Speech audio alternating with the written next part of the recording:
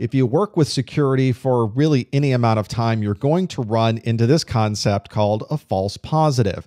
False positive, quite simply, is something that is alerted to you or reported to you that is not actually the case. Imagine getting a message that pops up on your screen that says a particular server has had an attack or your network has had a virus go through and you look at the person's machine or you go to that server and it does not appear to have an attack on it. There does not appear to have a virus on that machine. It's a false alarm. It's something that was reported by your security controls but in reality, this was not actually the case. It was not actually something that occurred.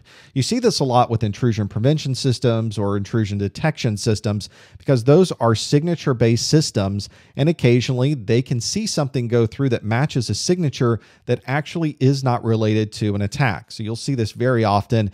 Your IPSs and your IDSs are really only as good as those signatures that you have on them. So make sure that if you see these, that you're really doing some sanity checks. You're really double checking what's going through just to make sure you understand exactly what the IPS is telling you and that you really are able to link it back to an actual threat. You do often see this as well in antivirus systems. On somebody's desktop, a message pops up that says, I got a virus. And here's a very good example in July 2009.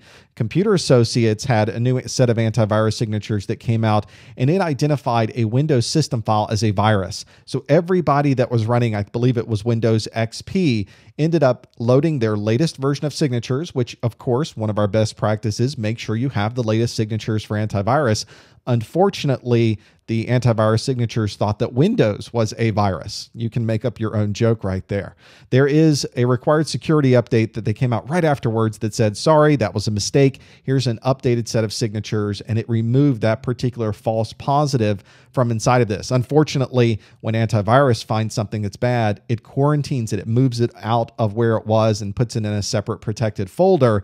And unfortunately, that caused a few problems when you start quarantining part of the operating system. So sometimes these false positives are more than just a bad warning, they can also create problems with your operating systems and cause a denial of service, if you will, uh, when something like that happens. So that can be a little bit more of a challenge uh, from a security controls perspective. And of course, you might just want to provide a different opinion. If something says, I have a virus, there's some other things you can do. Run it through a separate engine. I like to use VirusTotal out on www.virustotal.com.